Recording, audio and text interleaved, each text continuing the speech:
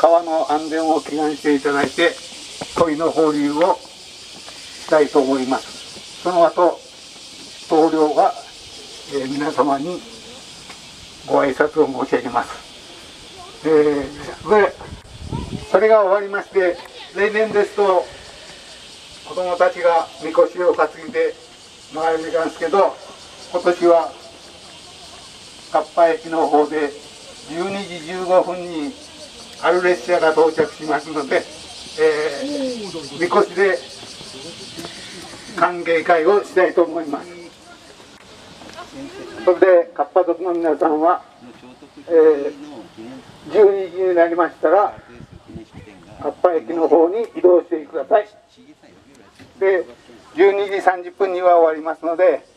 えー、それが終わったら戻ってきて後片付けて